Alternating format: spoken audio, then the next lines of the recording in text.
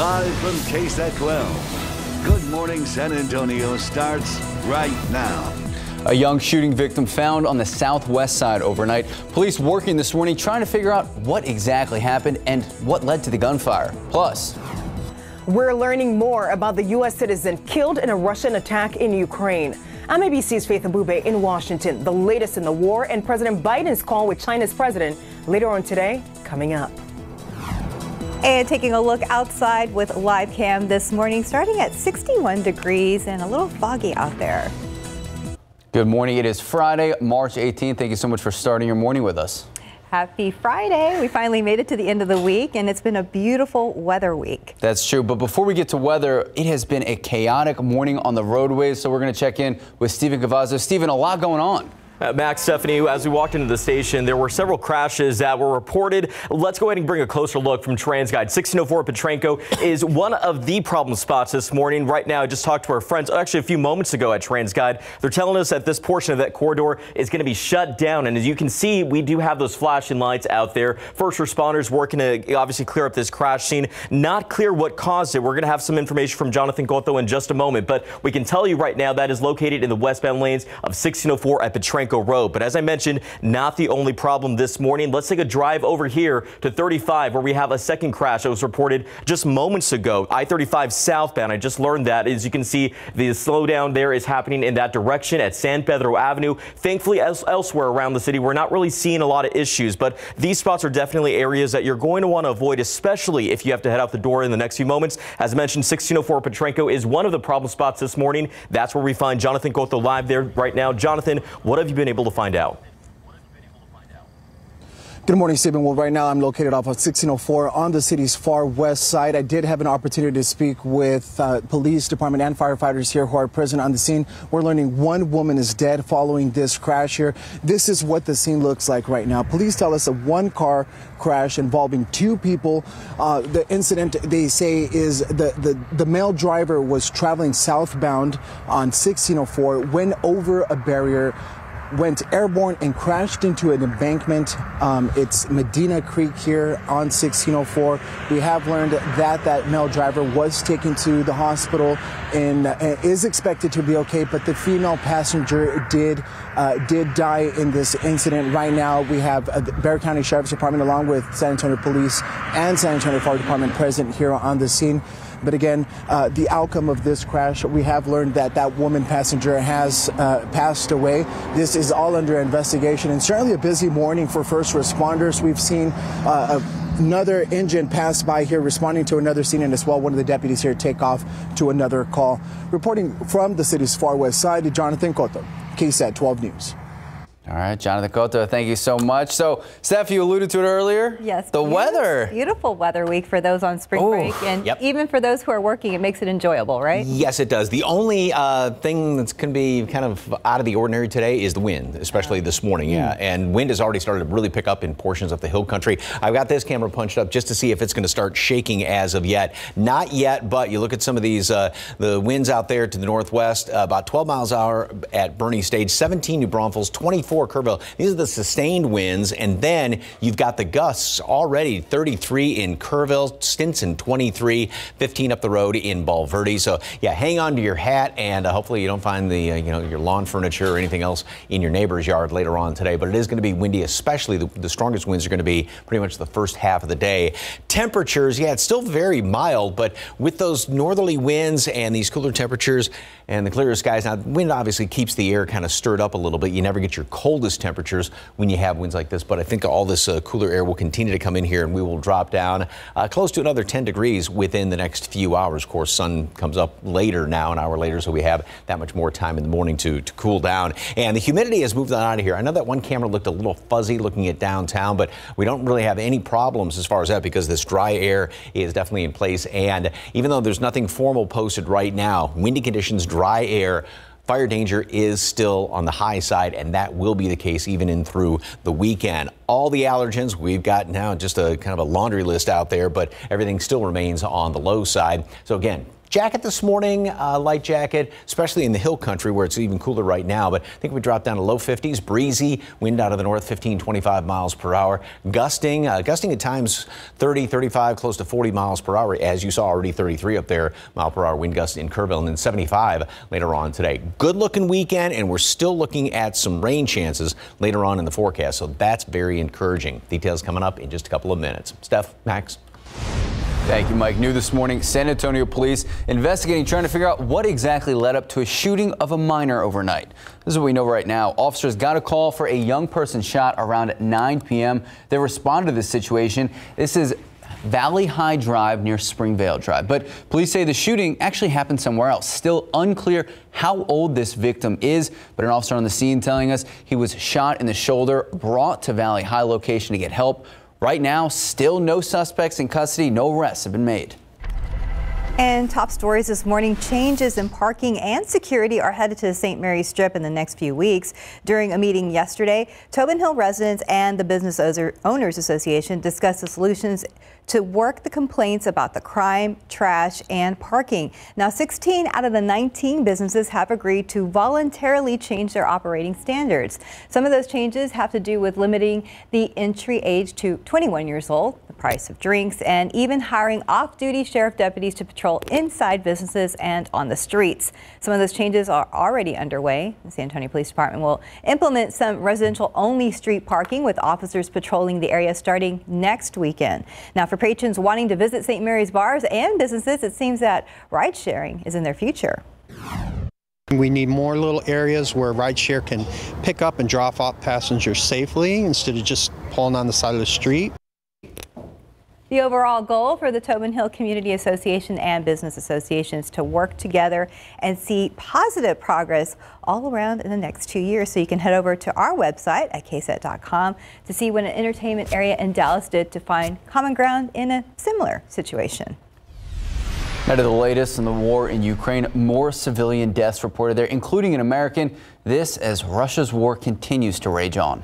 Secretary of State Antony Blinken says he personally agrees with President Biden that Russia is committing war crimes in Ukraine. The president is scheduled to speak with his Chinese counterpart today to assess where Beijing stands on the war. So as ABC's Faith Abubey reports, the Biden administration, there's a big concern about why weeks into this war, China still has yet to denounce Russia's deadly attacks on Ukraine and on their civilians.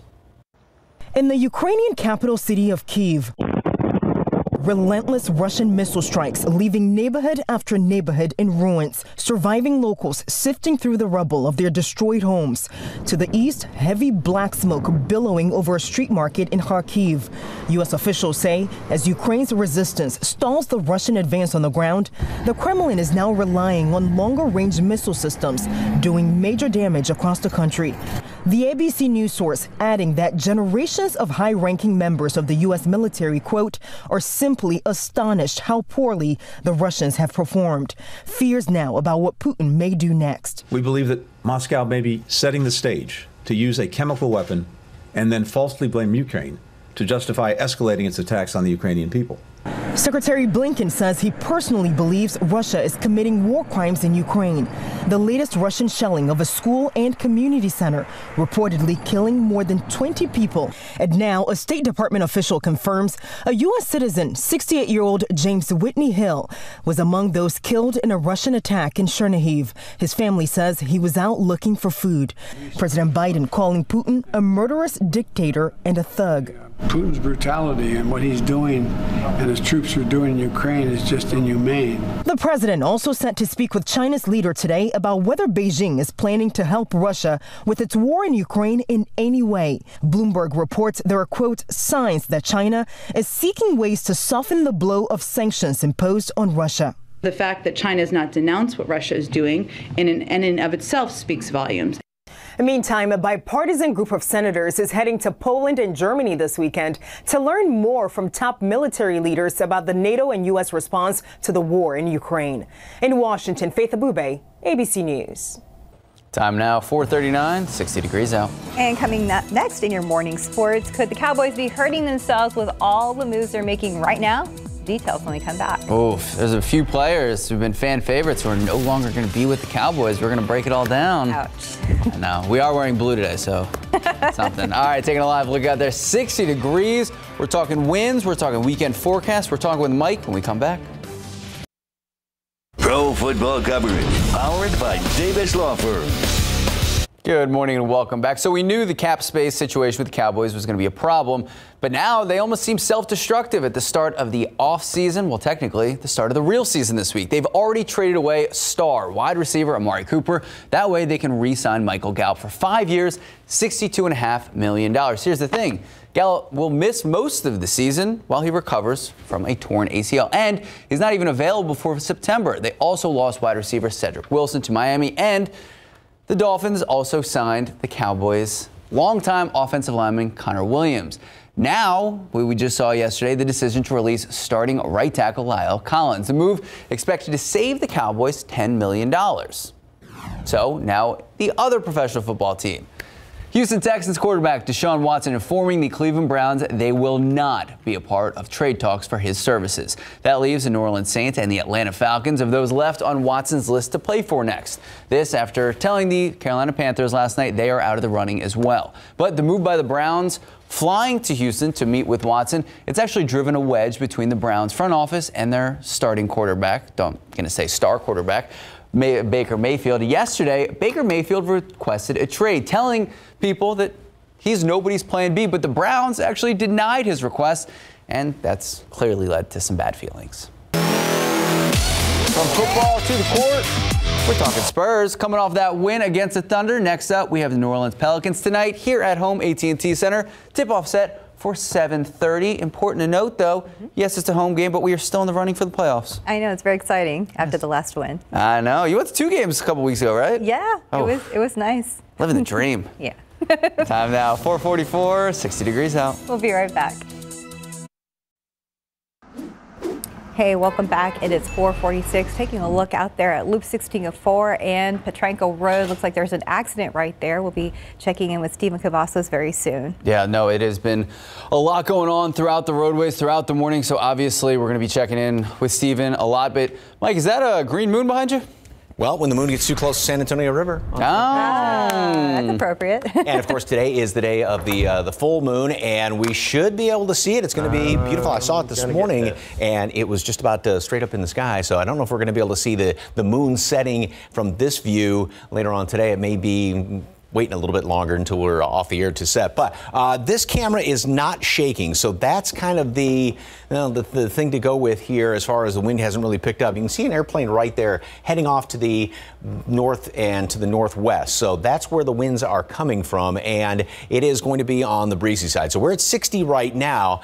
There's the wind, 16 miles per hour out of the northwest. Kerrville 17, 16 Castroville, and 13 at Stinson. It's going to be pretty breezy all day long, and then we've got these wind gusts right now. 24 Kerrville. Actually, that settled down ever so slightly. It was 33 just a couple of minutes ago. 25 at the airport, 14 at Bulverde. And it was probably going to be getting even stronger as far as the wind gusts, at least throughout the morning hours. We're looking at some gusts uh, 30, 35, close to 40 miles per hour. And that is going to be, it's going to be the windiest in the morning hours. So you're heading off, uh, you know, I guess for ladies ponytail day or something like that for the kids because you know it's going to not be a good hair day as far as that goes. And then later on today we are going to be seeing the winds start to subside. Still going to be breezy throughout the day, and then they'll settle down later on tonight. Temperatures we're in the 60s right now here in town, but I think we continue to drop down throughout the day, and then as we go on in through the noontime, and why those numbers are changing on me like that, sorry about that, but we are going to make it up into the uh, mid 70s then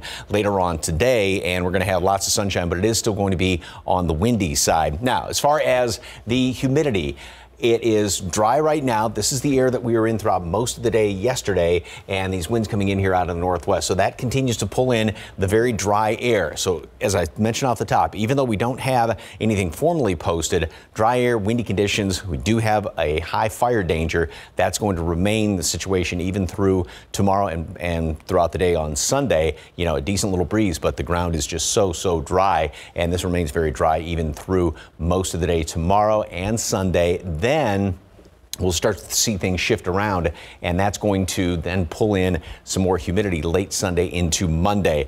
Upstairs in the atmosphere, when you have this darker shade of gray on the water vapor imagery, that means Going to have some beautiful blue skies out there today, albeit breezy. So hang on to your hat this morning. So as far as temperatures, today 66 degrees at noon, sunny, windy, and yesterday we made it up into the upper 70s, mid 70s today, down a little bit. Again, breezy conditions, uh, still no jacket weather. Tonight, probably want to take a jacket if you are going to be out later on tonight because uh, this evening because things are going to be cooling off fairly quickly. We'll make it down to 46 tomorrow morning, then up to 78. So get still slightly below normal low temperatures, slightly above normal high temperatures, and we get into Sunday. Great start. Clouds increase, and we're still looking at a chance for some rain on Monday. It looks a kind of conflicting computer models. Uh, one has the rain ending about midday. The other one has a little uh, extra little taste of rain later on in the afternoon. So a few showers, a couple of thunderstorms. Get that sorted out over the weekend. But at least we've got some rain chances. That's good news. But good news because we yeah. need that. Yep. And hang on to your hat this morning. We will. Thanks, Mike. Thanks, Mike. Time now 450, 59 degrees out. And coming up next, two new horror films are coming out today. Your entertainment news right after the break. But first, look at those lotto numbers. Pick three, three, six, six, Fireball four. Daily 4, 6, 4, 5, 9. Fireball 2. Cash 5, 4, 11, 17, 20, 28. And your Texas 2 step 13, 27, 33, 35. Bonus ball 11.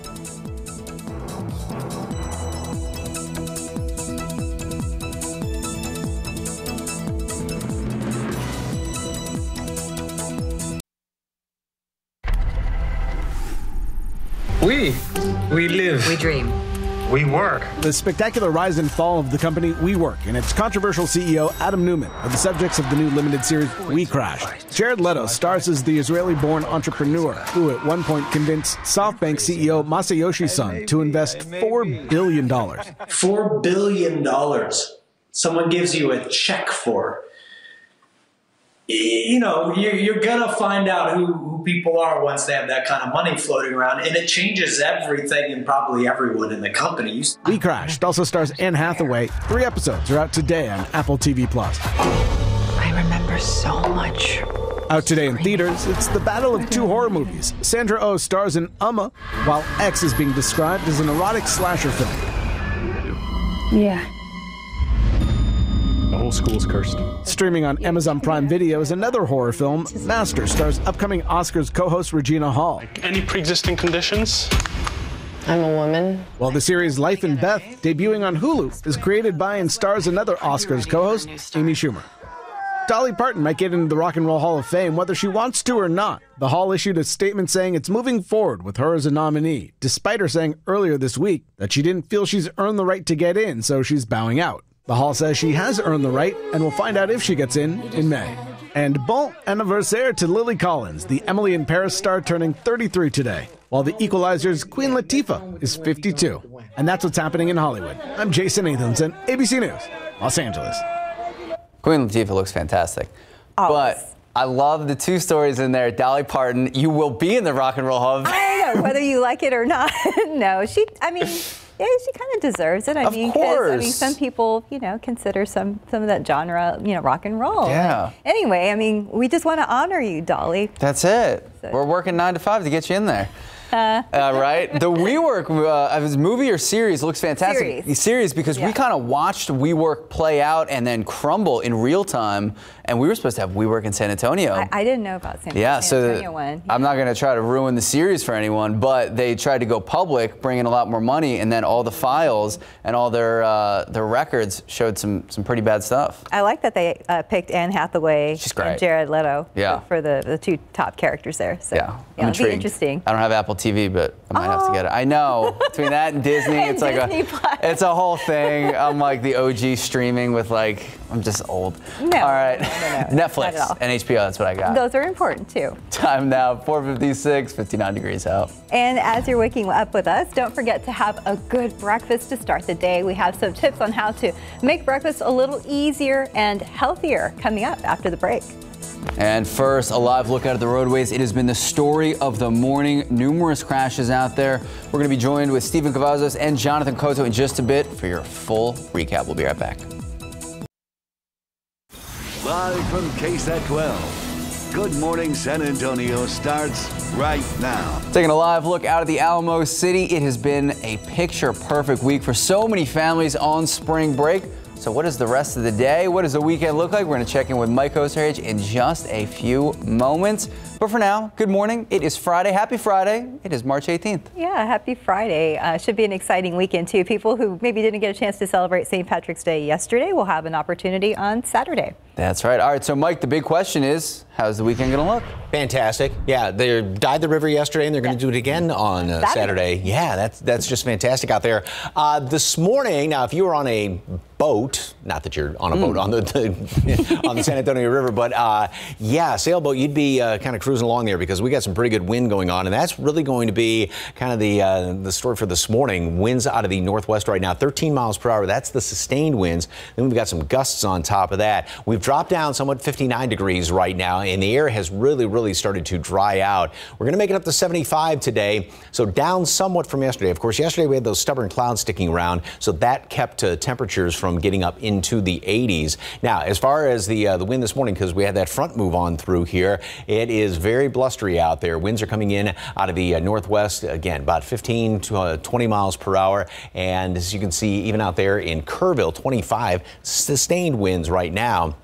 And then we've got the wind gust once again back up to about 33 at Kerrville, 22 at the airport, 23 mile per hour wind gust at Stinson. So again, hang on to your hat if by chance you drive a high profile vehicle, both hands on the steering wheel, which you should do anyway, according to the experts. 59, we've dropped down a few more degrees in town, and we've got these low 50s here in the uh, hill country. So even though we do have windy conditions, which usually don't allow you to get the coolest temperatures, we'll get that colder air or cooler air coming on in here. So we'll start off uh, just about a normal high and windy conditions, very dry air. Dew points have really dropped down. Fire danger is high again today and pretty much throughout the weekend, uh, just because we the ground pretty much obviously is dry as a bone. So we've got those windy and uh, dry conditions out there. So just watch it with any outdoor burning today, tomorrow, as well as on uh, Sunday. Now, allergens. Everything's on the light side as of right now. So seasonably cool this morning, very breezy, or just call it downright windy, windy. And winds will tend to ease up later on this afternoon somewhat, make it up into the mid 70s. And then this weekend, Cool mornings, great afternoons. Humidity starts to increase late Sunday, and we do have a chance for a couple of showers and a few storms. So that is going to be a very, very welcome sight to see some rain around here on Monday. Details coming up in just a couple of minutes. Traffic Authority, Stephen Cavazos. I know there's big problems out there. What's the latest? Yeah, unfortunately, Mike, this is not the only issue that we've been observing here on these TransGuide cameras. Flashing lights at Potranco. That means we uh, do have a crash to talk about here. We can tell you right now what we've learned from our friends over at TransGuide is that this stretch is closed here, and you can see vehicles exiting at Potranco, but uh, not clear yet on exactly where that crash scene is. Jonathan Cotto can have a clearer shot in just a moment, but let's go ahead and take you right to the map because although we are seeing some problems, uh, we're seeing more green than anything. But let's go ahead and bring it in here to 1604. Right there in those westbound lanes is where you can see that traffic starting to build. Very early start. The morning's still young, but we're starting to spot a lot of issues out there. Another problem spot is right over here off 35 southbound. We told you about this crash about a little, about half an hour or so ago, and we're still seeing some of the impacts with traffic moving pretty slowly in those southbound lanes of 35. Again, right at San Pedro Avenue. But we're going to be watching these areas closely. Again, 1604 Potranco, one of the problem spots this morning. As I mentioned, Jonathan Cotto is live there this morning. Jonathan, we know that this is a deadly crash. What else have you been able to find out?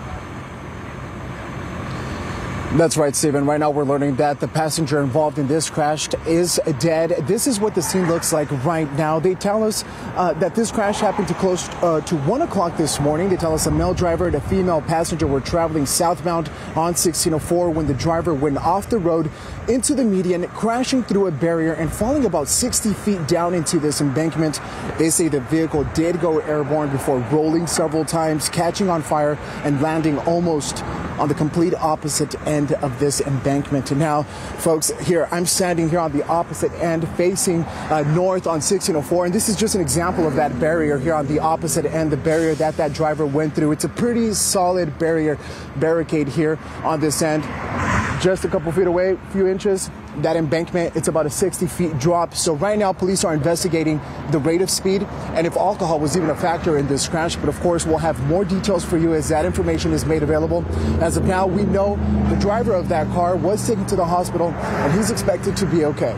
Reporting live from the city's far west side, Jonathan Cotto, KSAT 12 News.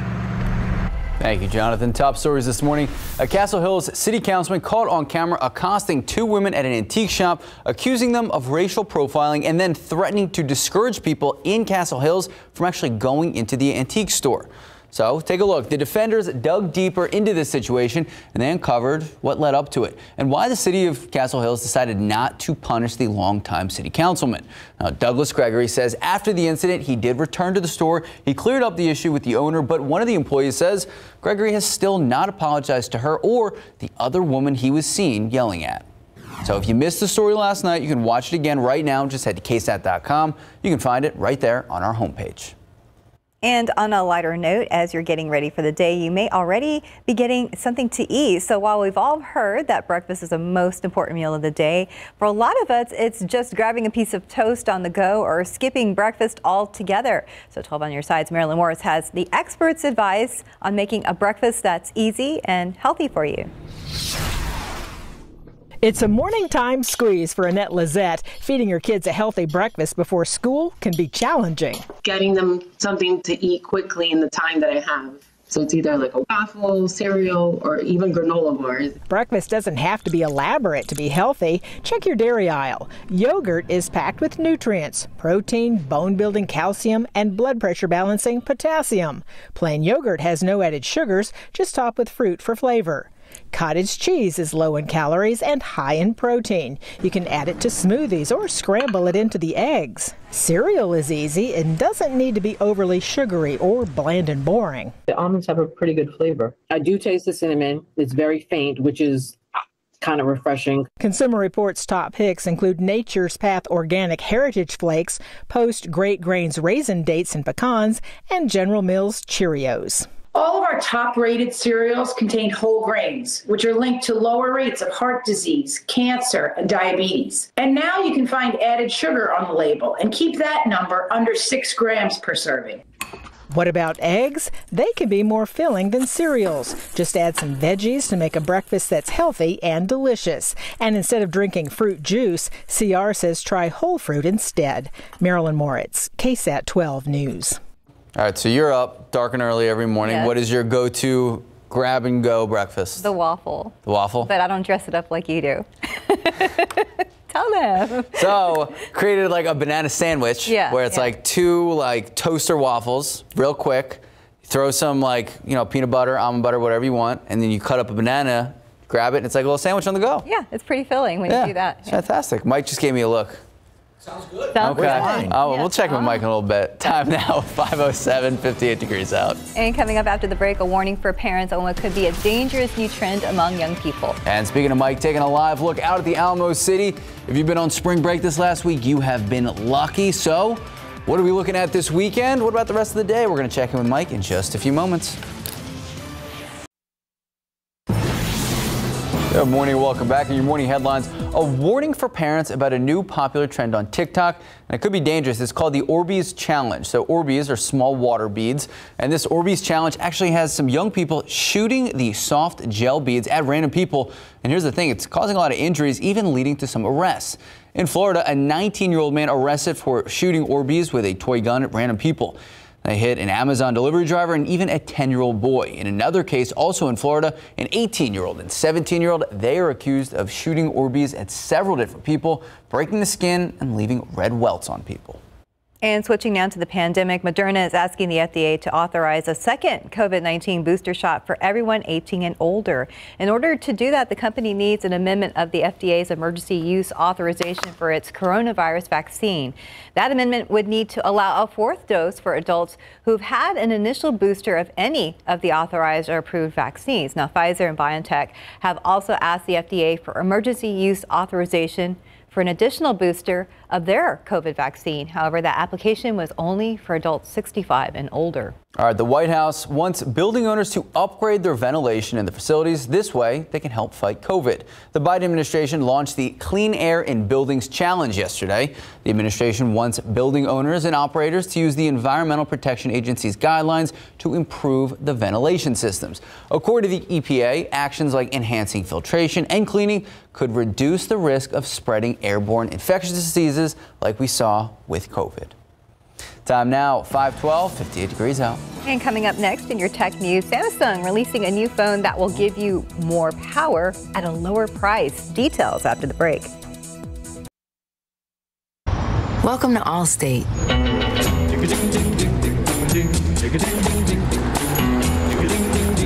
Here, safe driving saves more than just your cargo.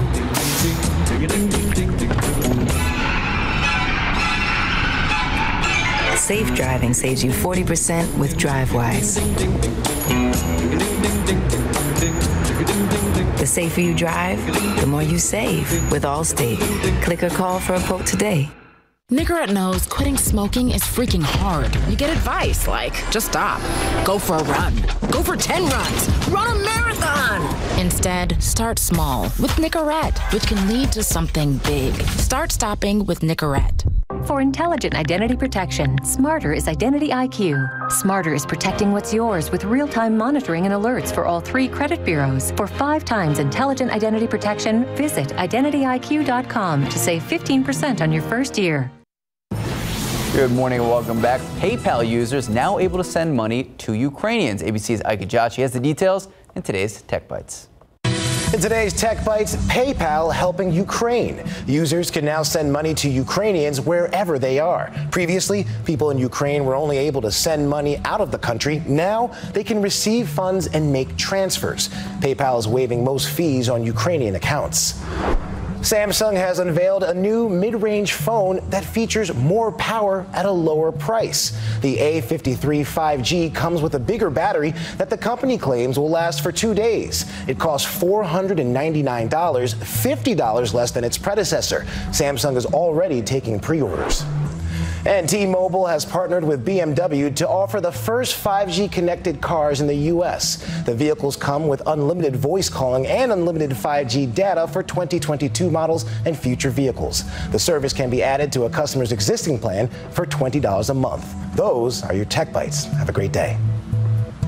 All right, I got to ask a question. You saw the, the BMW there. That was like a big screen TV in there. Okay, I thought you were going to ask about my, my, my lack of no. cameras on my phone. no. Next update. Yeah. All right, but speaking of the BMW, we got to go to traffic. Stephen Cavazos yeah. this morning. A lot going on out there. Well, it's not sure uh, what car and a vehicle was involved in this crash, Max. Uh, let's make sure that we make that clear. We're still trying to find out information here. 1604 at Potranco is, again, one of the problem spots that we've been watching this morning. We do have vehicles that are exiting right now. We can tell you that this is a deadly crash. Jonathan Cotto has been giving us some information as, been, as he's been live on the ground right now.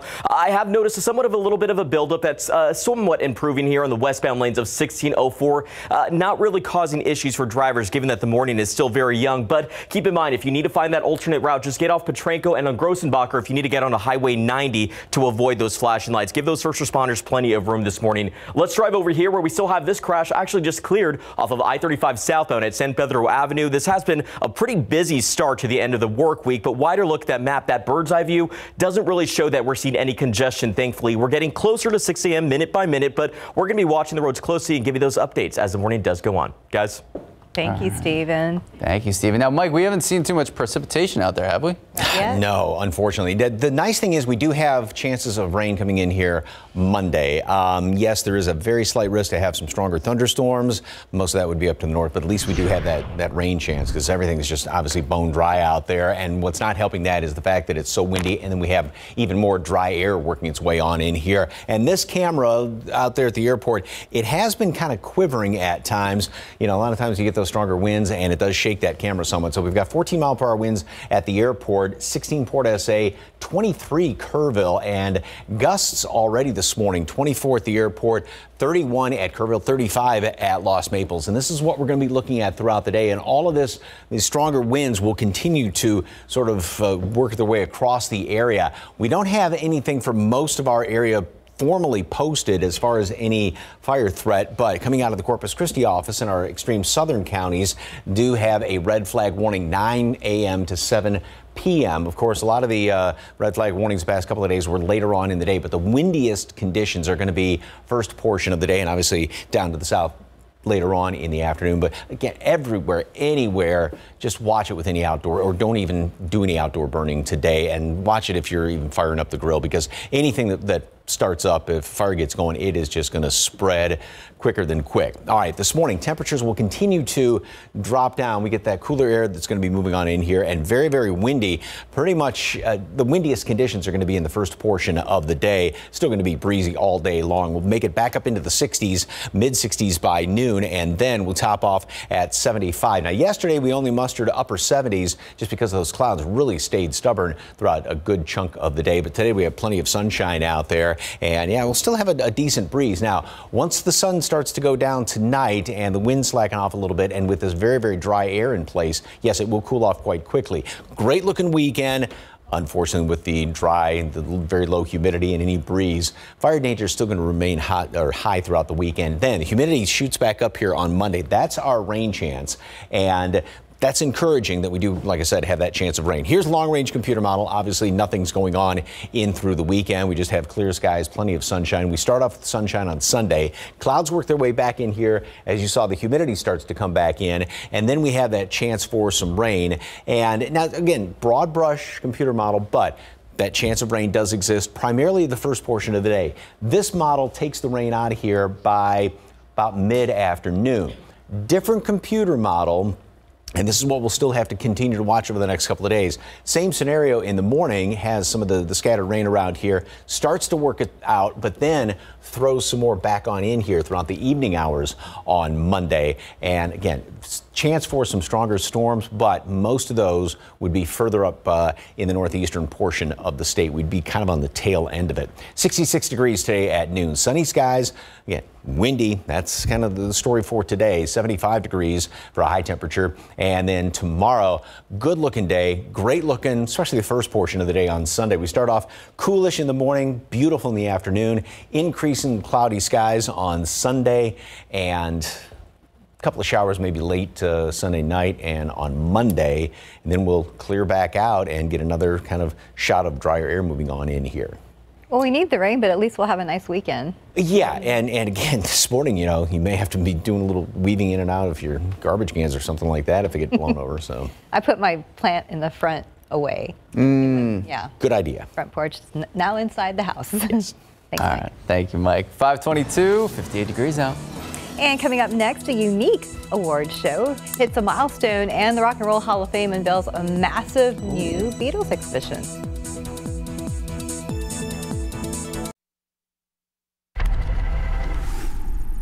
We're celebrating the year's best movies and television in this 20th anniversary special. Stories by grown ups for grown-ups.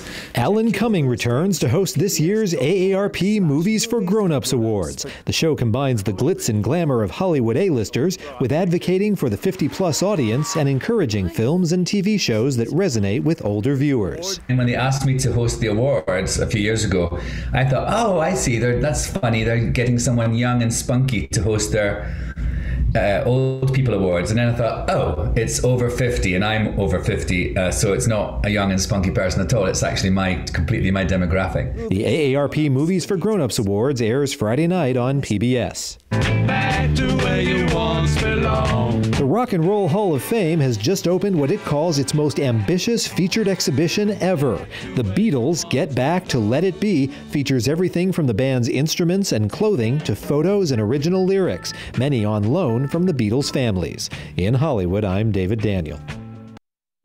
That's awesome. The Beatles exhibit's awesome. I want to go back to the yeah, AARP awards. Uh huh.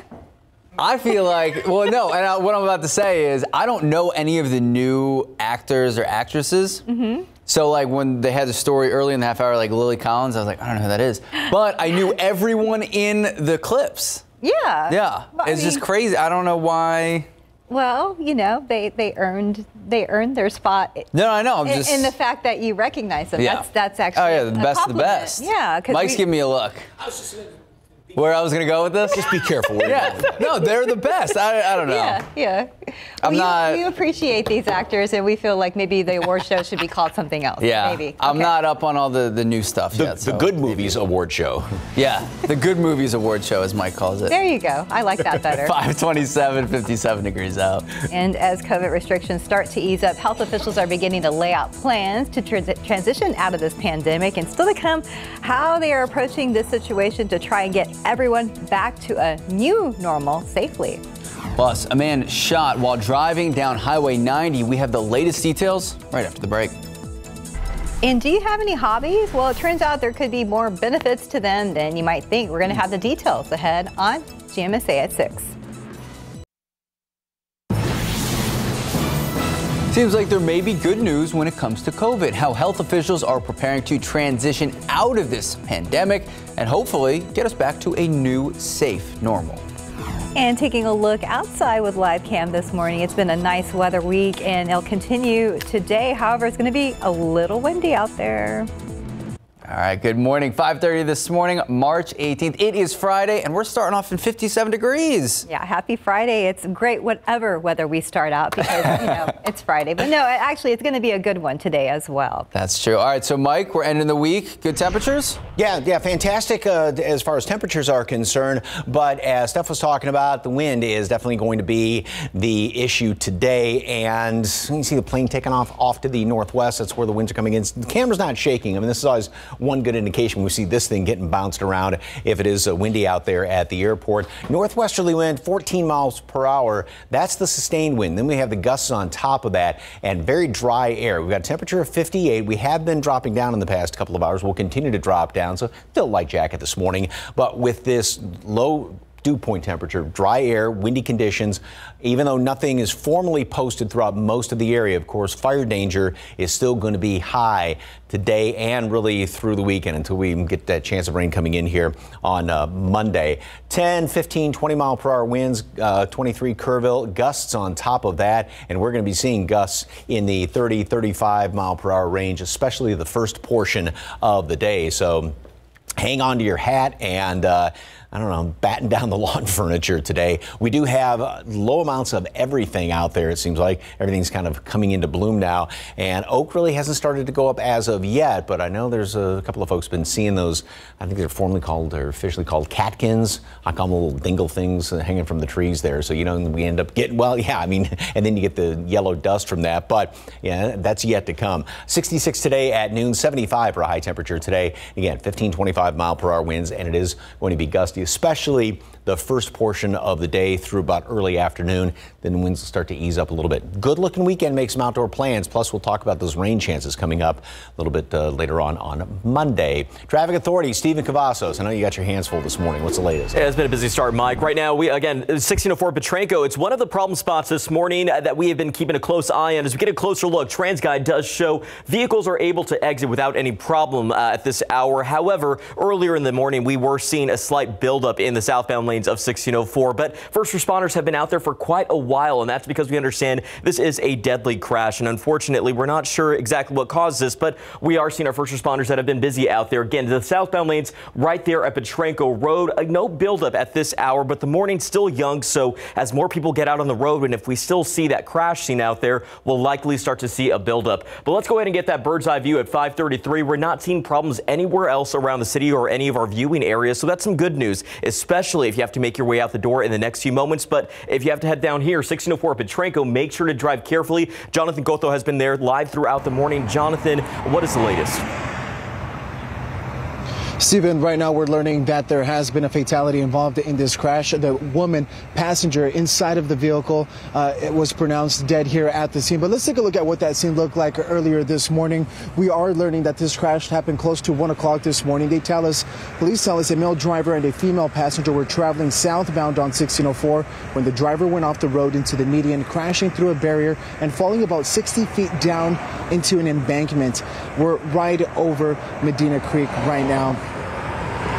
Now, they say the vehicle did go airborne before rolling several times, catching on fire and landing almost on the complete opposite end of this embankment. But of course, all of this is under investigation. Now, let me tell you, Stephen, right now, traffic is being diverted right now. Drivers here, you can see them. They are taking the Marbach exit. So all of the traffic here is on the access road.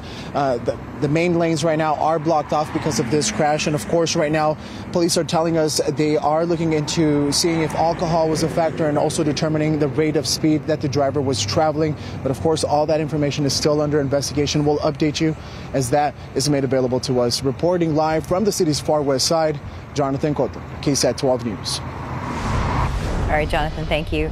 Also new this morning, a man shot while driving down Highway 90 this morning. It happened just before 3 a.m. near Callahan Road. Now, according to police, the man told officers that a vehicle was following him and then someone inside that vehicle started shooting at him.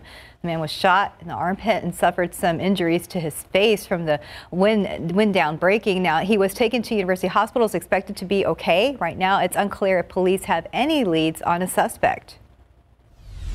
Some good news about COVID. Community levels and projected deaths are down. So now officials are talking about the transition out of this emergency phase. As CNN's Amy Kiley reports that means relaxing restrictions and preparing for the future.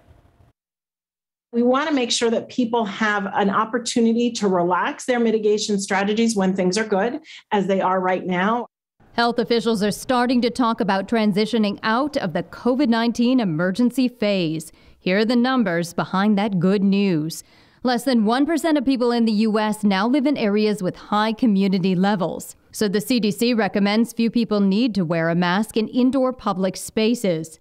It's not too soon if you observe the caveat that's associated with that. And the caveat is we need to be flexible. More good news is the CDC forecasts a decline in weekly COVID deaths our hospitals are not full, but then that they should put that mask in a drawer. A resurgence could come from an Omicron subvariant that spreads quickly. I would not be surprised given the fact that we've begun to open up and we have an increase in the BA2 variant that we'll be seeing an increase in cases. Experts say it might not be as deadly as other variants, especially if people are boosted. Moderna says it's asking the FDA to authorize another booster for emergency use for adults. Pfizer wants another one for those 65 and older. The final bit of good news is hope for the future. This may very well become a seasonal disease where the amplitude of disease, the amount of disease that's out there, gets less and less over time. I'm Amy Kiley reporting. In other news, lawmakers are working to suspend normal trade relations with Russia in response to the Kremlin's brutal invasion of Ukraine. The U.S. House passed a bill to suspend trade relations with Russia and Belarus yesterday. The legislation now heads to the Senate, where Majority Leader Chuck Schumer says he will work to get it quickly passed. Russia currently has the most favored nation status when it comes to trade, meaning lower tariffs and fewer barriers. Last week, President Biden said the U.S. would call for that status to be revoked, but that would require approval from Congress. And while several Western companies have suspended operations in Russia, one American business is staying right where they are. Koch Industries says its two glass manufacturing facilities will continue to operate right there in Russia. The conglomerate says shutting down operations would actually do more harm than good because the plants would be handed over to the Russian government. The company has condemned Russia for its invasion of Ukraine, and the company also says it is complying with all sanctions, laws, and regulations. Time now just about 538, 57 degrees out and medical supplies donated and gathered for those in Ukraine. Coming up after the break, another example of San Antonio's urge to help. It is amazing to see San Antonio come together and help out people in a whole different country around the world. All right, speaking of San Antonio, taking a live look out there, 57 now. What is the rest of the day? What does your weekend look like? We're going to check in with Mike in just a few moments. San Antonio continuing to show support for Ukraine. Yesterday, a medical supply drive at the Hilton Garden Inn. The nonprofit Ukrainian San Antonio, they spearheaded the, the effort. They collected medical supplies, things like bandages, dressings. Our photojournalist, Billy Caldera, he was there giving us an inside look at all the generosity. Get the boys out here to carry this. There's some people in need, and what little we can do here, we can at least do something. A lot of Ukrainians, uh, they just died from uh, bleeding. So we need tourniquets to just stop bleeding. We just brought some medical supplies. Hopefully we can get to Ukraine in time. My daughter's on spring break and I think it's really important for our children to realize that the freedom and the benefits that we have, there's other people who are fighting for their lives and are in need of food and medical supplies and clothes. And so I brought her here today with me on her spring break so that we could both do this together and give back. Businesses nonprofits helping the Ukrainian Association here in San Antonio with the needed supplies. We know what's in this backpack? No. It's a full med. We have uh, some Ukrainian team, we call it medical team. They develop a list. So the boxes are labeled by numbers, and those are the different categories of supplies that are going. First category is first aid, emergency dressing, gauze. Those are the types that are going in there. For number two, we have hospital equipment. Third category is just like um, ibuprofen, drops for eyes. And then four is surgical supplies. But our program is towards civilians, towards simple people, towards doctors who are helping uh, civilians to get out from the ruined buildings, from the cars, from the shootings. It takes actions to demonstrate compassion, and that's what's happening here. And it's amazing. We really appreciate everyone who is doing it for us. When you think you don't have something to give, you do. So please help. And again, that was photojournalist Billy Caldera putting that together. It's good to see all the people out there volunteering. It really was so inspiring seeing San Antonians step up and help out, especially people, you know, on spring break. It was a perfect time to do it. Yes, it is, and went out there to help. All right, time now, 542, 57 degrees out. And coming up next, many businesses dealing with staffing shortages because of the pandemic. However, after getting through spring break, Fiesta Texas and SeaWorld saying they're ready for their peak season. In this morning's GMA First Look, the race to save Ukraine's art and culture. Hundreds of sandbags covering this statue in Odessa and priceless art now hiding underground of the National Museum. Dozens of volunteers wrapping these centuries old statues in fireproof insulation and fortifying the walls outside of this chapel built in the 1600s. Lviv is a city built on history and its citizens determined to save it. It's really important uh, to uh, look look on that uh, buildings. It helps people to remember that we are part of something really important for us. That we are a part of a nation. That we are a part of a big history of our country. And coming up at 7 a.m., we'll have much more on these brave men and women, plus the very latest live reporting from on the ground across Ukraine. With your GMA First Look, I'm Maggie Rulli, ABC News. And welcome back. It's 546. Spring break is wrapping up, but this year families got a little taste of normalcy at theme parks after the pandemic changes things for the past two years. So while the challenge for local theme parks has been work turnover and employee retention during the pandemic, SeaWorld and Six Flags Fiesta Texas tell our Alicia Barrera that they are prepared for the peak season. Thank you. For many, it's the first spring break since the pandemic began that they're finally enjoying their time off. This as the nation faces a labor shortage across many sectors, pushing companies like Six Flags Fiesta Texas to offer competitive hourly rates. And we have a variety of jobs starting as high as $15 or more. Left swing, guys. And other theme parks like SeaWorld to provide generous incentives to new employees. Right now, we're offering up to a $1,000 bonus for those who come and work over at the water park as a lifeguard. And we also have $750 bonuses for those who come and get hired into our food and beverage area.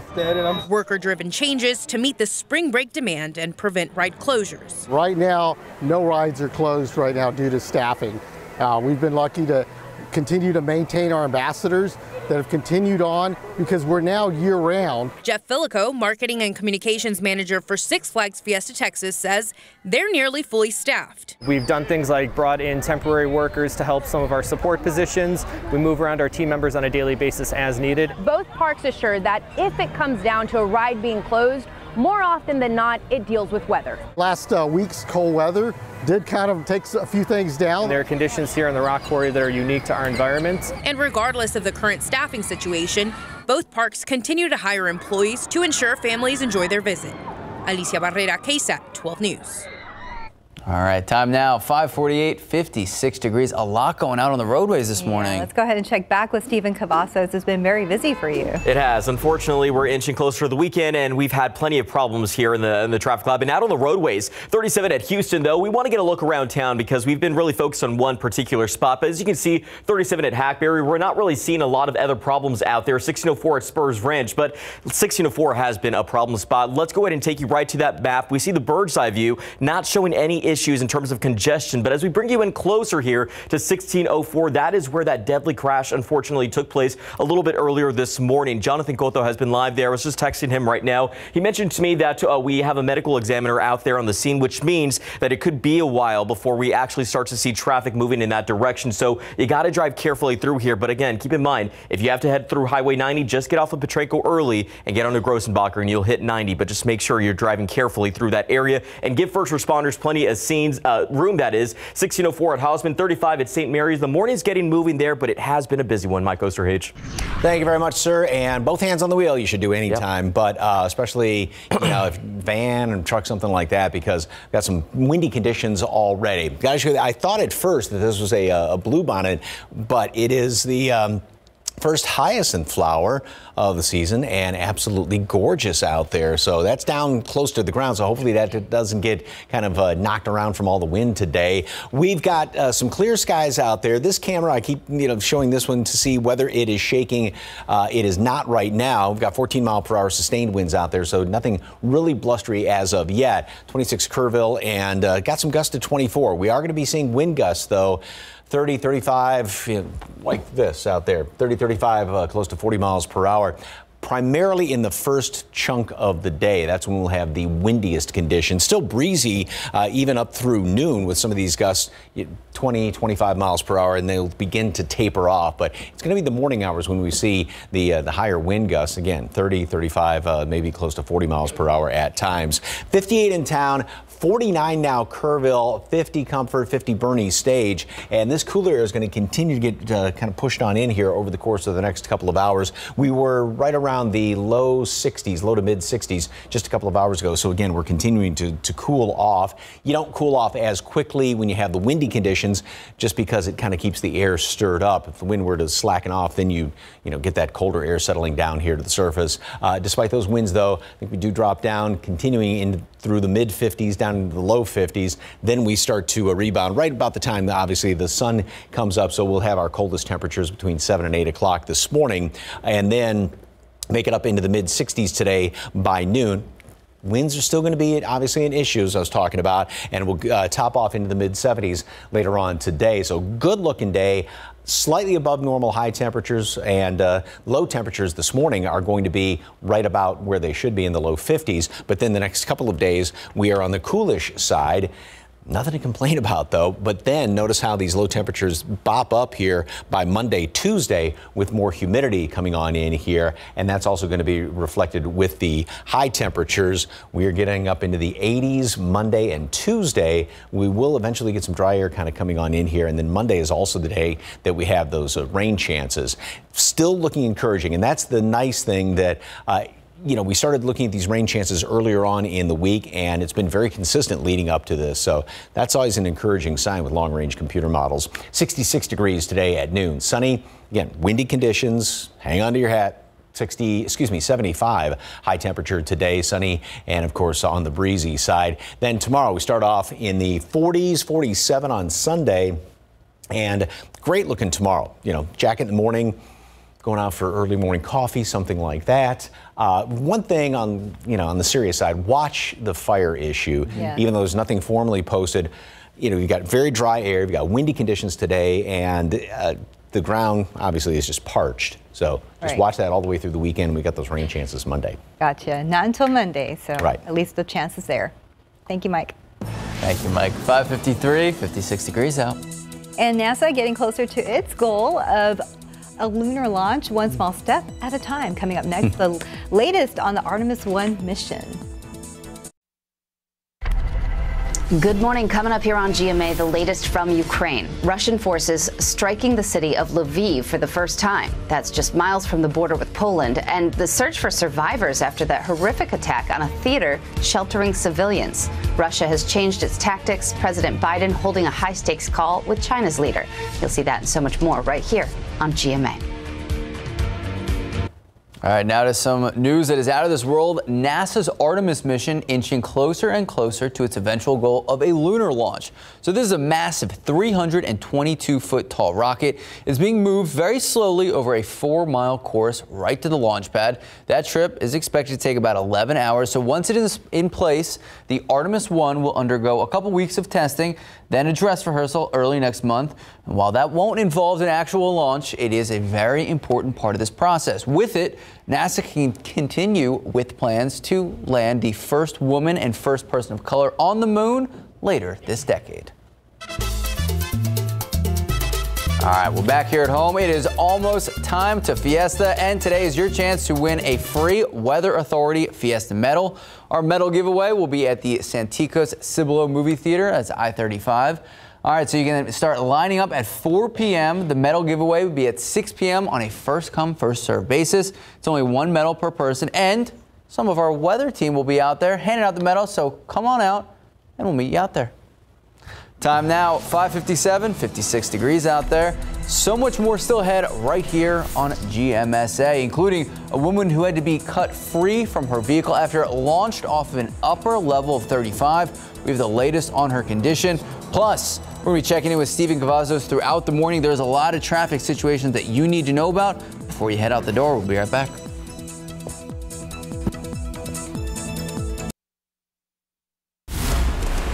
Welcome back. Starting this hour with some late breaking news a shooting involving an off duty police officer. This is happening in a neighborhood in West Bexar County. It's on a street called Nectar Creek, and that's not far from Marbach Road. Katrina Weber there with a live report. Katrina, we understand the Bexar County Sheriff's Office is investigating, but this does not involve a deputy.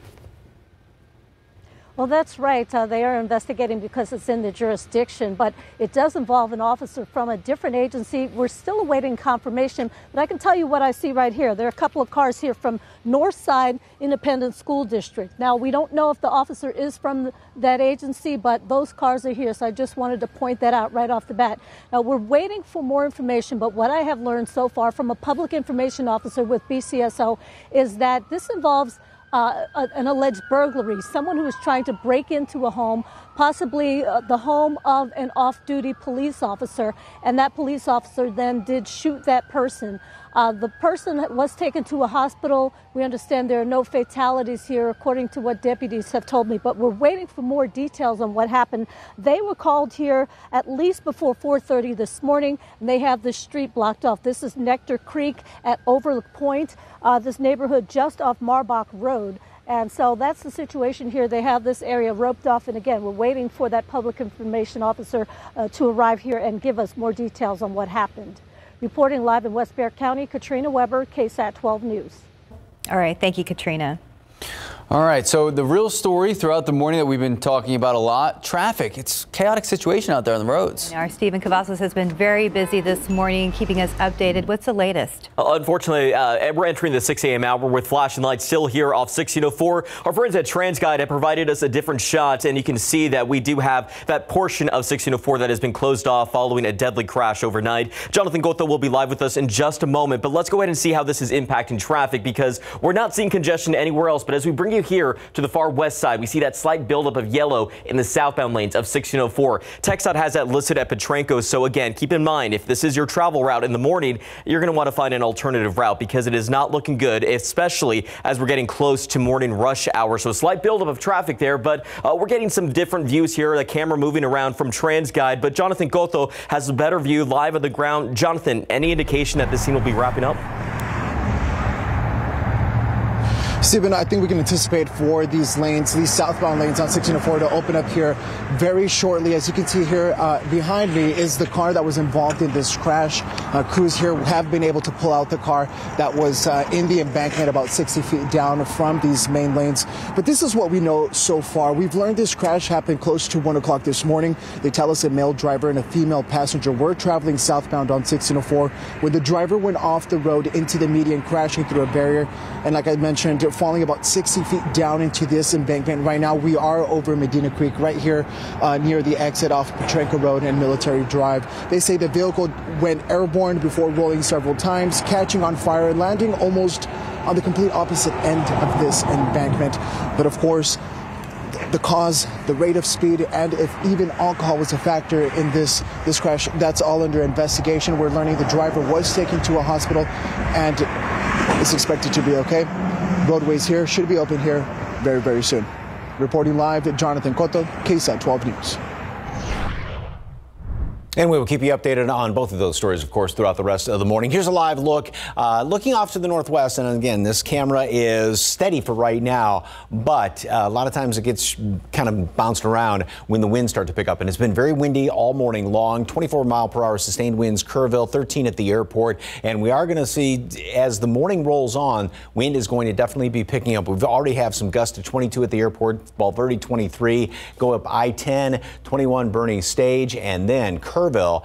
And this is what we've been talking about all morning that we're looking at wind gusts approaching 40 miles per hour. And that will be the case again, especially throughout the first portion of the day. Temperatures have continued to drop down pretty much across the board. We're down in the 40s up there in the hill country right now, 50 now Boerne Stage. And we've already uh, dropped close to 10 degrees from uh, just about uh, three, four hours ago here in town, and will continue to drop down a couple of more notches as this colder air continues to, or relatively colder air continues to filter on in here. Obviously, a jacket's a pretty good idea this morning with temperatures in the 40s and 50s and the breezy conditions. A whole bunch of allergens are out there oak is still on the low side, but I know there's a lot of those. Uh, the leaves have been falling, and the catkins are now starting to uh, to spring on the the oak trees. 66 today at noon, and 75 for a high temperature.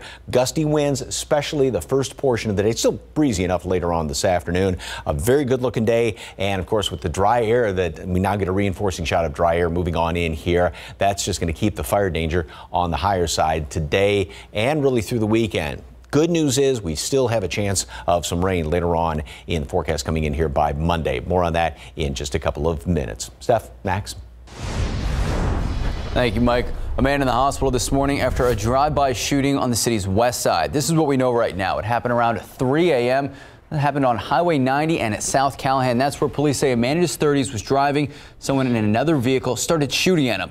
Now, he was shot in the upper torso. He even had some injuries on his face because of fragments of glass that shattered right towards him. Now, he was taken to the hospital. He is expected to recover. No word yet on if any suspects are in custody. A man, woman, and baby lucky to be alive this morning. Fire crews were able to pull them out of their vehicle after they were hit by another driver last night. Now, it happened around 1030 at Culebra and Ingram on the west side of town.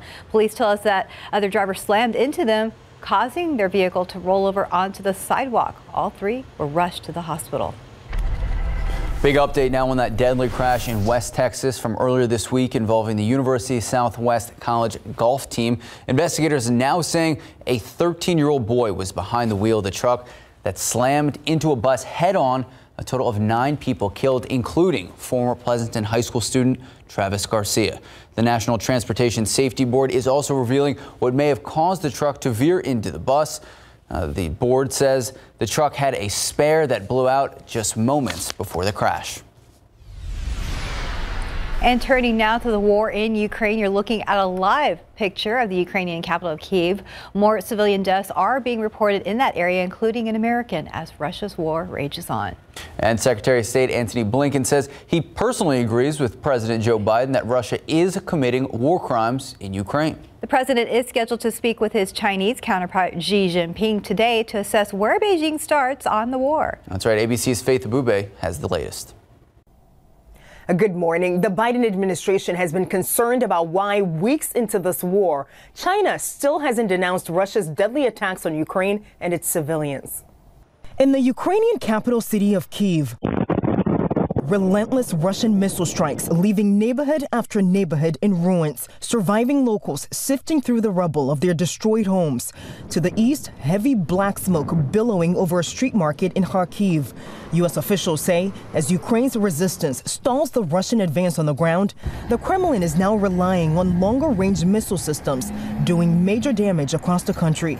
The ABC News source adding that generations of high ranking members of the U.S. military, quote, are simply astonished how poorly the Russians have performed. Fears now about what Putin may do next. We believe that Moscow may be setting the stage to use a chemical weapon and then falsely blame Ukraine to justify escalating its attacks on the Ukrainian people. President Biden calling Putin a murderous dictator and a thug. Putin's brutality and what he's doing and his troops are doing in Ukraine is just inhumane. The president also set to speak with China's leader today about whether Beijing is planning to help Russia with its war in Ukraine in any way. Bloomberg reports there are, quote, signs that China is seeking ways to soften the blow of sanctions imposed on Russia. Meantime, a bipartisan group of senators is heading to Poland and Germany this weekend to learn more from top military leaders about the NATO and U.S. response to the war in Ukraine. In Washington, Faith Abubey, ABC News. And in your morning consumer news, the S&P 500 on track for its biggest weekly gain since late 2020. This as U.S. stocks rallied for a third consecutive day yesterday, despite the latest surge in the price of crude oil. Investors starting to reassess the impact the war on Ukraine will have on the U.S. stock market. Now, the S&P climbing nearly 5% so far this week. The Nasdaq using a 1.3% and the Dow adding 1.2% yesterday. But here's the thing, before this morning, with anticipation of meeting with Xi Jinping, futures of all stock markets are down. And super low mortgage rates seem to be a thing of the past. The average 30 year fixed home loan rising above 4% for the first time in nearly three years. Lending rates likely to go even higher following the Fed's quarter point interest rate hike this week. This as would be homeowners also face soaring housing prices. All right, so here at home, changes in parking and security. They are headed to the St. Mary's Strip in just the next few weeks. So during a meeting yesterday, Tobin Hill residents, families, and Business Owners Association, they discussed possible solutions in the works. And this is all in responses to complaints about crime, trash, and yes, parking.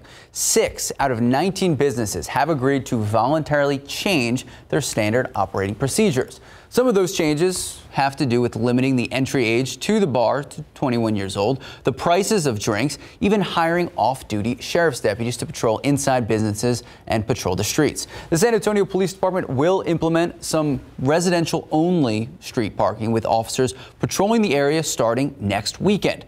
For patrons wanting to visit St. Mary's bars and businesses, it seems that ride sharing is going to be big in the future. We need more little areas where rideshare can pick up and drop off passengers safely instead of just pulling on the side of the street.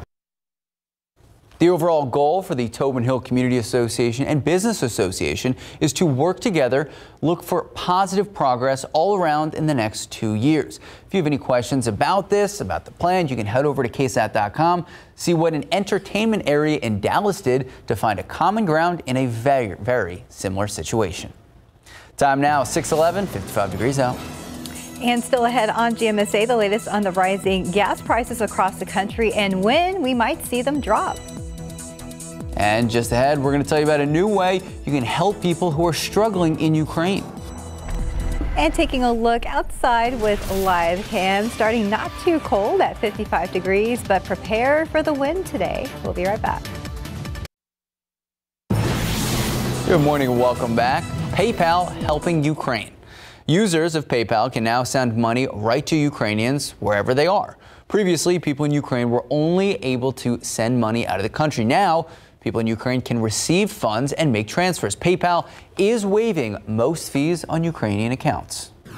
Samsung has unveiled a new mid-range phone that features more power at a lower price. The A53 5G comes with a bigger battery that the company claims will last for two days, and it costs $499, $50 less than its predecessor. Samsung is already taking pre-orders. All right, T-Mobile partnering with BMW to offer the first 5G connected car in the United States. The vehicles come with unlimited voice calling and unlimited 5G data for 2022 models and future vehicles. The service can be added to a customer's existing plan for just $20 a month. And speaking of vehicles, we now turn to the pain that we are all seeing at the pump. We all know the cost of gas has been rising to record level levels, and so has the anxiety that millions of Americans face each day. All right, ABC's Andrea Fujii explains. This morning, proof of the heavy toll high gas prices are taking on Americans. Thousands of drivers in Chicago waited in line for hours Thursday to get a free fill up. I've been out here since 5 o'clock this morning. A local businessman donated $200,000 in gas to stations across the city, and he says he'll do it again next month. Here's a blessing, and I thank everybody that put their effort to help, you know. It comes as Americans brace for even higher prices at the pump. Oil prices climbed 8% Thursday due to growing supply concerns stemming from the war in Ukraine. The International Energy Agency warns by April, global markets could see the biggest supply crisis in decades. In California, gas prices now average 5.78 a gallon. To offer relief, some state lawmakers are now proposing a $400 rebate for every taxpayer. High gas prices also affecting how kids get to school, with some districts now relying on a limited number of hybrid and electric buses. Having those options really allows us to continue on. And days after Uber and Lyft announced fuel surcharges, Amazon Flex drivers who use their own vehicles to make deliveries are now demanding higher pay to offset the pain at the pump. Experts say if gas prices stay this high, the average U.S. household could spend an extra $1,300 this year on gas. Andrea Fujii, ABC News, New York. And outside with TransGuide, things are moving in some areas, but let's go ahead and check back with Stephen Cavazos. You know, 16 to 4 again uh, has been a problem spot if you've been with us throughout the morning. Stephanie, as we get a look at TransGuide, we're seeing some empty roads out over here off I-10 at Hackberry, which is some good news for drivers that have to make their way out in the next few moments. But other areas, as I mentioned on 1604, have not been a great uh, spot to be at, especially for some drivers that have been there, uh, for drivers that may be making their way in there right now. As you can see, we have that slight buildup in the southbound lanes there due to a crash, a deadly crash, unfortunately. Jonathan Cotto has been live there throughout the morning, and one of the things he did mention uh, during the last time we spoke to him was that this could be clearing up just in time for morning rush. But we will work to get more information on this particular incident. But you can see a slight buildup of traffic in those southbound lanes. Wider look at the map doesn't show much else as we drive over here, but there's still some road debris detected off I-10 eastbound at Probandt. So make sure that you are driving carefully and stay alert. Both hands as the wheel, as Mike Osterhage has been saying throughout the morning. 618, we're not seeing problems anywhere else around the city, so that's some good news, especially here in the metro area as a lot of people make their way out the door. 281 at Grayson, you can see traffic moving there. US 90 at Cupples. Looks like things are getting going. Guys. All right, well, that's good for some areas, and, probably a light sweater this morning for the kiddos. Yeah, we've been cooling down. It was uh, much milder in the kind of the, the, wee hours this morning, and temperatures have actually here in town dropped a good uh, almost 10 degrees from right around 2 o'clock or so. Uh, we'll continue to drop down right around 52 when it's all said and done. That's going to be about 7:30 between 7:30 and 8 o'clock, and then we'll be up to 75 later on today. But notice how keep talking about how it is going to be on the windy side, and it is has been windy all morning long. This is the day of the full moon and absolutely gorgeous out there. You can look off in the western sky, can probably see it. And it is called the full warm moon. These are some of the from the Old Farmer's Almanac and back to the Native Americans around the, the Great Lakes area. Also, other names Eagle Moon, Goose Moon, Sugar Moon, and this one applies today, the Wind Strong Moon, because we've got on the day of the full moon some pretty strong winds out there 13 miles per hour out at the airport, 16 Port SA, and 25 Kerrville. And then again, those at actually last half hour, it was gusting to 37 at Kerrville, but now it's gusting to 40 in Lost Maples. And this is what we're going to continue to see throughout the morning are these wind gusts that, and kind of the, the, the stronger winds will continue to kind of work their way across the area and then work their way down to the south. And that's why red flag warnings are posted for our extreme southern counties. And this is coming out of the Corpus Christi office. And that's 9 o'clock up until 7 o'clock this evening for the red flag warning. There's nothing formally posted elsewhere for the majority of our viewing area. But of course, you've got really, really low humidity, strong winds, and the ground is just so dry that fire danger is definitely going to be high. So again, we drop down to around 52 degrees. Then we'll start the warm up as the sun comes up and really jump up into the uh, mid 60s by noon. Again, still windy, although the strongest winds are going to be from now until say early afternoon a decent breeze, even you know going into four or five o'clock, and we'll be up to uh, 75. And then things will cool off relatively quickly once we get into the overnight hours. So if you are heading out this evening, jacket's not a bad idea because we'll end up uh, dropping down into the 40s by tomorrow morning early. All right, as far as anything precipitation wise.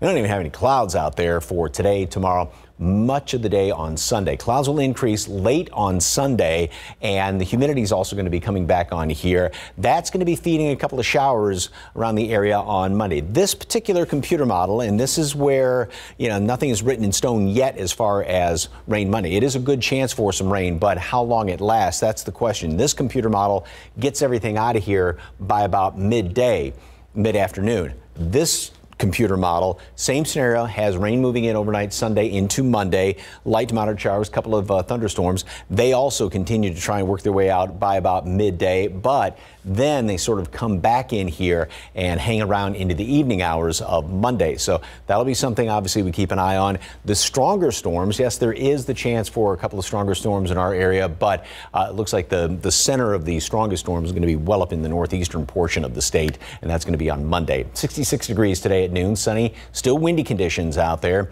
and high temperature today makes it up to 75 and a pretty good breeze. Then tomorrow we start off 46 degrees. So even cooler than tomorrow morning and 47 on Sunday morning, getting up into the uh, mid and upper 70s both days. 80 on Monday, chance for showers and a few thunderstorms around the area.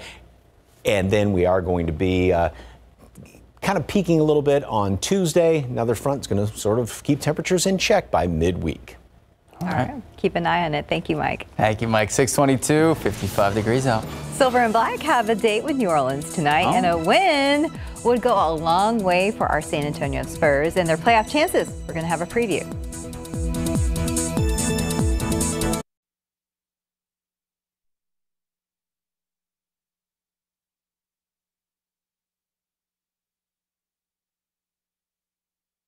What can I do with less asthma? With Dupixent, I can do more yard work, teamwork, long walks. Game on! That's how you do more with Dupixent, which helps prevent asthma attacks. Dupixent's not for sudden breathing problems. It's an add-on treatment for specific types of moderate to severe asthma that can improve lung function for better breathing in as little as two weeks and can reduce or even eliminate oral steroids. And here's something important. Dupixent can cause allergic reactions that can be severe. Get help right away if you have rash, chest pain, worsening shortness of breath, tingling, or numbness in your limbs. Tell your doctor about new or worsening joint aches and pain or a parasitic infection. Don't change or stop asthma medicines, including steroids, without talking to your doctor. Are you ready to do more with less asthma? Hey, come on! Just ask your asthma specialist about Dupixent. Good morning, welcome back, and go Spurs, go! The Silver and Black back in action tonight, and believe it or not, at 27 and 43 on the season, the Spurs still have a chance at making the playoffs. They can move one step closer to the play-in bracket if they beat New Orleans this evening. Spurs Pelicans tipping off tonight here at home, 7:30 at the AT&T Center, and of course, as usual. Go Spurs, go. Remember just a couple nights ago, we had that exhilarating win over the yes. Thunder. Lonnie Walker with the oof. Oh, that was so cool. Yeah, his. I wish I would have seen it. Yep. I went to I went to bed, you know, early you know, for, for the shift. When you wake up at 2 a.m., that's understandable. but I mean, but when I went to bed, they were up at halftime, and I remember thinking, okay, please keep the lead, and you know, and then the next morning I was super excited to see that they won. So let's do this again, Spurs. Yes, 2-0. That's what we're looking for. Yes. 627, 55 degrees out. And still ahead on GMSA, details on an overnight crash that sent one woman to the hospital after her vehicle launched off the highway. Right now, we are following breaking news from West Bexar County, a shooting involving an off-duty police officer. Sheriff's deputies have been investigating in a neighborhood off of Marbach since early this morning. Katrina Weber is also there with a live report. And Katrina, have you learned anything about what happened? Well, we're still waiting for that update from the public information officer. But what he has told me is that this was a shooting involving some sort of off duty police officer, not someone with the Bexar County Sheriff's Office, although they are investigating here. They've been here since at least before 4.30 this morning. Uh, we can see another vehicle here, though, that belongs to Northside ISD. Now, we're awaiting confirmation to see if perhaps that officer involved in the shooting uh, does work for them. We don't know for sure, but that car is there. Let me give you a look at some video going back a little bit earlier when uh, deputies had this area pretty well covered. Uh, what we have learned from the public information officer is that uh, this possibly involved an attempted burglary uh, of that off duty officer's house and that he did shoot someone who allegedly was trying to break into his home. Now, that person who was shot, we understand, has been taken to a hospital. I was told by deputies here there are no fatalities involved. But uh, again, the sheriff's office investigating, and we are awaiting the arrival of that public information officer to give us an update on the situation. Reporting live in West Bexar County, Katrina Weber, KSAT 12 News. All right. Thank you, Katrina. Now, through the morning, we've been monitoring the roadways, giving you live looks. We've been checking in with Stephen Cavazos. Yeah, how's it look? Had some problems earlier. That's right, Max. Stephanie, uh, looks like things are cleared out, uh, have cleared out, that is, off 1604 at Potranco. This has been one of the biggest problem spots this morning. A deadly crash and unfortunately had a portion of this corridor blocked off for quite a while. But what we're looking at now is that drivers are able to make their way through here without any problems, and that's really good, especially as we inch closer to morning rush hour. But right now, let's go ahead and start with that map because we did have that crash pinpointed right near Potranco. And as you saw a little bit earlier, there was some yellow that was building up in that direction which was obviously indicating a slowdown. But right now, it does look like those lanes are open, and it doesn't look like it's causing any problems. But be on the lookout still. We have that road debris off of I-10 eastbound at Probandt. Wider look the map at 632 doesn't show any problems anywhere else, so that's fantastic news. Again, if you do have to head out the door in the next few moments. But 1604 Potranco, uh, well, that's where we saw a buildup of traffic. Want to go ahead and toss it over to Jonathan Cotto, who is traveling along 1604. Jonathan, how are the roads looking like right from, from your view? How are the roads looking like right from your view? Good morning, Stephen, and thank you. Right now, the road conditions are clear. We do know that we were experiencing some major delays as the crash uh, causing four road closures here on 1604 on the city's far uh, west side. We know it's been a busy morning for first responders. We're about to get on 1604, so you can see that that those lanes are open now. But uh, this morning, the, the crash, we're learning it happened close to 1 o'clock this morning. They're telling us that a driver and a female passenger were traveling southbound on 1604 when the driver went off the road and into the median, crashing through a barrier and falling down to an embankment over Medio Creek here off 1604. They say the vehicle did go airborne before rolling several times, catching on fire and landing almost on the opposite end of the embankment. And that's the information we have right now. Of course, uh, authorities are investigating the rate of speed here. Also, they're they're looking into seeing if alcohol was a factor, but we are told the driver of that vehicle was taken to a nearby hospital and is expected to be okay. Again, his female passenger did not make it, did not survive this crash, but of course, the details involving this crash are all under investigation. We'll update you as that information is made available. Reporting live from Storm Chaser, Jonathan Cotto, KSAT 12 News. And of course, we'll keep you updated on both those situations throughout the rest of the morning. All right, here's a look from our camera on top of the uh, building over there at 10 at 410. There's the uh, smokestack still dressed up in green for St. Patty's Day. And this camera has been shaking a little bit because, again, we've been talking about how we've got some pretty good winds out there this morning, and it's going to stay pretty breezy all day long. Winds out of the northwest at 13, that's the sustained wind. And then also, we've got the really dry air. And those two factors on top top of very dry ground.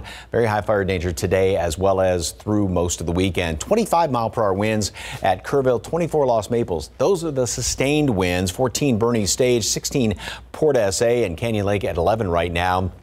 And then the gusts 23 Boerne Stage, 33 Kerrville, and again, gusting to 40 miles per hour. And we're going to continue to see gusts 35, 40 miles per hour throughout the rest of the morning. And they'll start to taper off wind will by later on this afternoon, but still going to be breezy throughout most of the day. 55 in town, got 40s. Actually, it's continuing to drop down, and most of the 40 degree readings or readings in the 40s, I should say, even now down toward Boerne Stage. So we'll continue to drop down in and around San Antonio the next couple of hours. We've started off right around low to mid 60s, so we've already lost 5 to 10 degrees over the course of the morning. Jacket's pretty good idea. And a lot of allergens, er, not a lot of any particular allergen. Everything is on the light side. Seasonably cool this morning. Low 50s are where you'd expect it to be this time of year. Breezy to windy, I guess I should say. Windy throughout much of the day, although the highest wind gust this morning, mid 70s for a high temperature. And weekend looks fantastic. Cool mornings, great afternoons. But late on Sunday, the clouds start to work their way in here, as does the humidity. A couple of showers, a couple of thunderstorms around on Monday. More on that coming up in a couple of minutes. Steph, Max. Thank you, Mike. So we've been talking about crashes this morning. A terrifying crash in the downtown area ending with at least one person in the hospital. So take a look. This happened around 1 this morning. This is on I-35 southbound in San Pedro. Now, police tell us a woman driving a sedan ended up launching her vehicle from the upper level of the highway to the lower level. Now, she had to be cut free from the vehicle by first responders. This At this time, her condition still unknown, and they're still investigating, trying to figure out how exactly this happened. San Antonio police are trying to figure out what led to the shooting of a minor last night. This happened around 9 on the southwest side of town. Officers responded to Valley High Drive near Springville Drive for reports of a young person shot. However, officers say the shooting actually happened somewhere else and that the victim was shot in the shoulder and brought to that Valley High location for help. Right now, it's not clear how old that victim was, and police do not have any suspects at this time. All right, so take a look at this. This is a new video out of East Texas. Windy conditions fueling a massive fire. So far, more than 38,000 acres in that area have burned. This is all according to the Texas A&M Forest Service. Right now, evacuation orders are in place for several East Texas counties. Fortunately, no injuries have been reported yet. And now to Missouri, at least six people are dead after a massive crash. Several others were hurt. This was the scene yesterday. More than 50 vehicles were involved and the interstate there was shut down for hours. Investigators say it was a frightening scene. Now to the latest on the war in Eastern Europe. You're taking a live look from Kiev, the Ukrainian capital. So as the conflict rages on week after week, Secretary of State Antony Blinken says he personally agrees with President Joe Biden that Russia is committing war crimes in Ukraine. Thousands of people have been killed in these attacks. Officials there reporting at least 52 of the casualties are children. In the meantime, President Joe Biden scheduled to speak with China's leader Xi Jinping later today. They plan to discuss where Beijing and China stands on this conflict. And some good news about COVID-19. Community levels and projected deaths are down. Now officials are talking about the transition out of the emergency phase. As CNN's Amy Kiley reports, that means relaxing restrictions and preparing for the future. We want to make sure that people have an opportunity to relax their mitigation strategies when things are good, as they are right now. Health officials are starting to talk about transitioning out of the COVID 19 emergency phase. Here are the numbers behind that good news. Less than 1% of people in the U.S. now live in areas with high community levels. So the CDC recommends few people need to wear a mask in indoor public spaces. It's not too soon if you observe the caveat that's associated with that.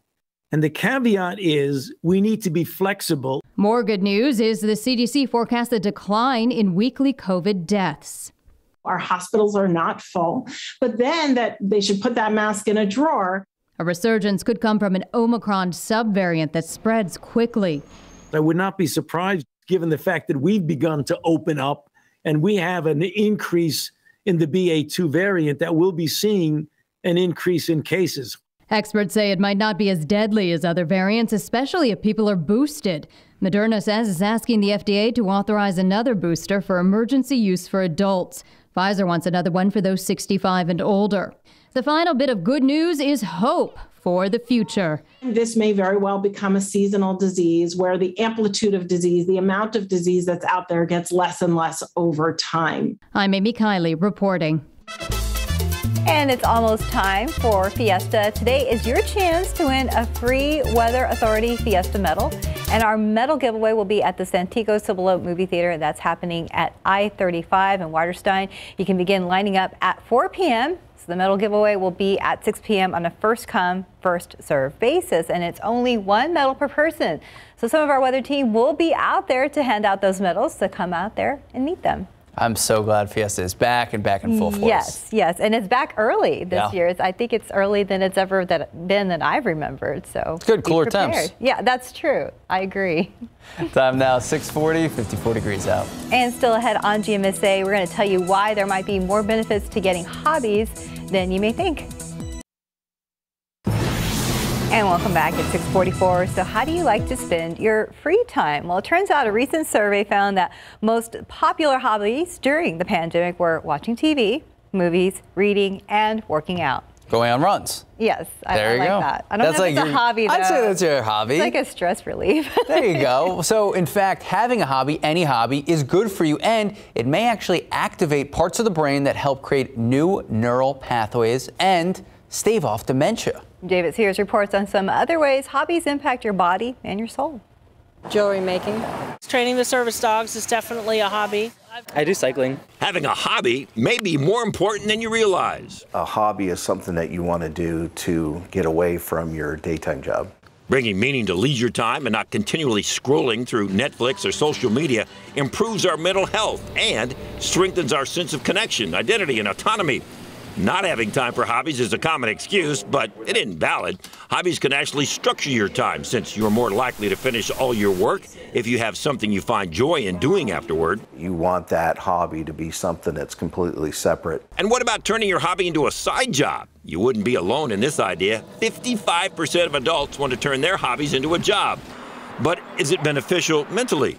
Hustle culture often causes major burnout, and the need to monetize on everything we do makes every moment feel like work. Turning a hobby into your work, I think, could take away the joy of your hobby. Researchers also discovered hobbies were associated with lowering blood pressure, body mass index, and stress hormones. According to one study, hobbies are linked with decreased symptoms of depression and 30% lower odds of experiencing depression. David Sears, KSAT 12 News.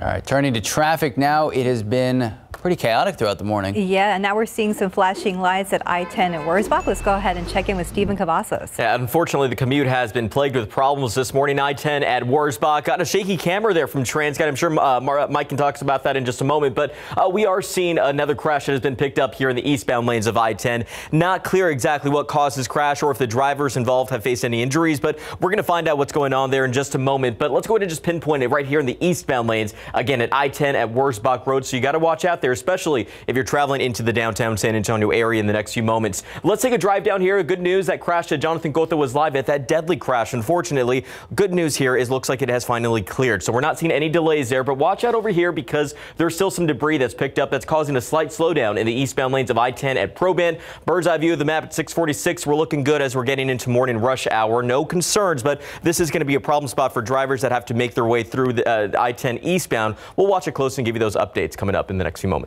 Thank you. And Mike, I know you were asking for blue bonnet pictures, and now you have them. Thank you very much. And hopefully, uh, you don't live next door to somebody with uh, a live oak tree and all those live oak leaves get blown in on top of these bluebonnets out there. But yeah, just an absolutely gorgeous, gorgeous picture. Bluebonnets in the yard. Oh, that's so pretty. Thank you very much for that. All right, that one TransGuide camera was shaking, and this camera is shaking as well. Yeah, it's really starting to uh, kind of get bounced around. 13 mile per hour winds here at the airport, 16 Port SA, uh, 18 New Braunfels, and 22 and 24 up there in the hill country, Kerrville and Lost Maples, respectively. And again, we've been looking at those 40 mile per hour wind gusts up there in Lost Maples, 29 Kerrville, and 22 here in town. So we will continue to see the, the gustier winds just stick around here throughout the rest of the morning, and wind will finally ease up somewhat, won't be as gusty, I should say, by later on today. Temperatures have been slowly declining over the past couple of hours as that, that front moved through late last night and has been pulling in somewhat drier air. Well, not drier, of course, drier, but also cooler air, pardon me. And we'll continue to drop down to right around 52 degrees. That's pretty much a normal low temperature later on this morning. And then, of course, right as the sun comes up, we start that warming process. And it'll warm up fairly quickly